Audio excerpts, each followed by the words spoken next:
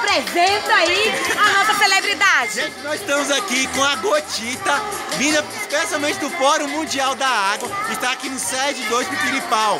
Então, nós somos da DASA na Escola, que é um programa que atende todas as escolas do Federal, tratando sobre o uso racional da água e o descarte correto de resíduos sólidos. Nossa, que maravilha! Então, assim, também tratando do meio ambiente? No geral, Porque exatamente. a gente não vive sem água. Exatamente. Nosso planeta. A água é nossa prioridade.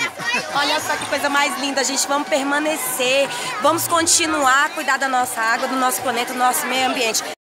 Likey